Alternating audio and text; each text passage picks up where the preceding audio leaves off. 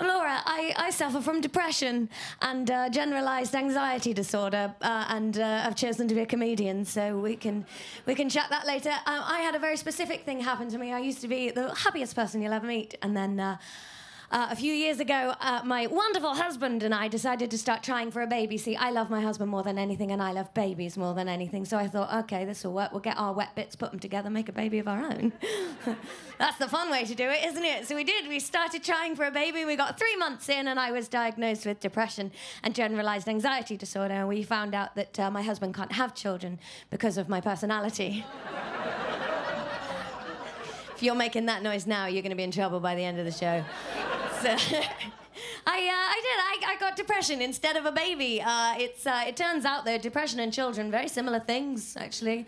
All my friends have got kids now. I've got a 22 month old depression, and you cannot tell me apart from my new mum friends. We're, we're all overtired. We've all got stains on our clothes, and none of us are as much fun at parties as we used to be. I just go to quieter support groups. Same padded play area, though.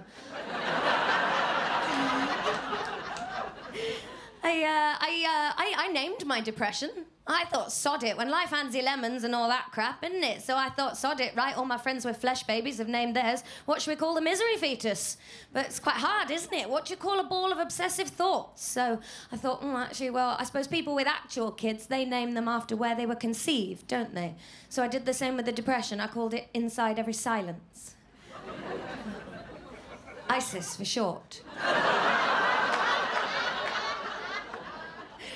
Figured it works. Name depression after a terrorist cell, because that's what it is. It's hard to pin it down, it undermines your hope in a future, and articles about it in the tabloids tend to be dangerously misguided.